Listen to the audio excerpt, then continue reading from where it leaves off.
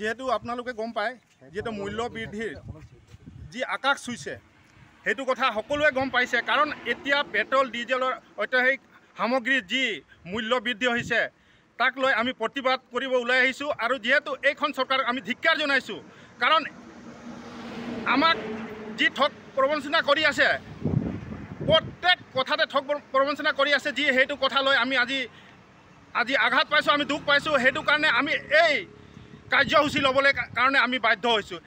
ইতিমধ্যে যি আমি দেখিব পাইছোঁ যে পেট্ৰলৰ আৰু ডিজেলৰ যি মূল্য হ্ৰাস পাইছে আমি ইমান দুখ পাইছোঁ যে এইখন চৰকাৰ যে আমাক যি প্ৰতিশ্ৰুতি দিছিলে সেই প্ৰতিশ্ৰুতি হিচাপে তেখেতলোকে পালন কৰা নাই।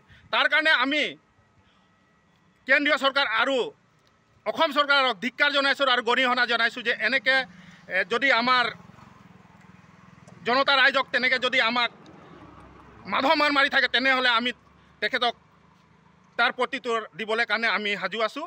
আৰু যি কৰিবলগীয়া আছে সেই কামখিনি আমি। যি হিচাপে মূল্য বৃদ্ধি কৰিছে অতি সোনকালে। আপোনালোকে আপোনালোকে ৰোধ কৰাৰ ব্যৱস্থা গ্ৰহণ কৰক। অন্যথা সদৌ অসম আদিবাসী ছাত্ৰ সন্থা ডিব্ৰুগড় জিলা সমিতিৰ লগতে ডিব্ৰুগড় জিলা সমিতিৰ অন্তৰ্গত দুলেয়ান চাবুৱা টিংৰাই নাহৰকটীয়া টিংখাং সকলো আমাৰ প্ৰাথমিক প্ৰাথমিক সমিতি আঞ্চলিক সমিতিসমূহ ৰাইজ আমি একত্ৰিত কৰি পেলাই আঞ্চলিকসমূহ একত্ৰিত হৈ পেলাই অনাগত দিনত এই বিজেপি চৰকাৰ বিৰুদ্ধে কিন্তু আমি গৰজি উঠিম এয়া কিন্তু স্পষ্ট কৰিম আপুনি কি ক'ব?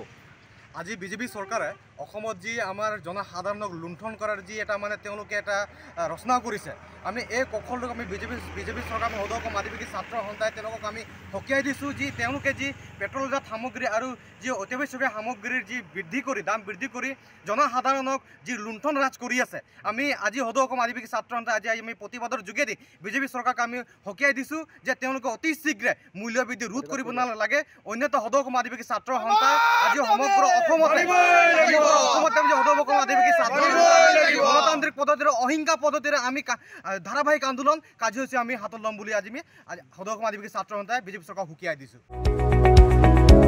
কবিতা প্ৰেমিকসকলৰ বাবে এটা নতুন খবৰ।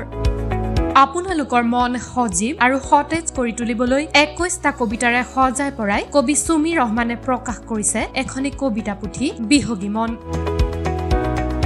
বিহগী বন কবিতা পুথিখন আপোনাৰ হাতত পাবলৈ যোগাযোগ কৰক এই নাম্বাৰত এই ঠিকনাত যোগাযোগ কৰক।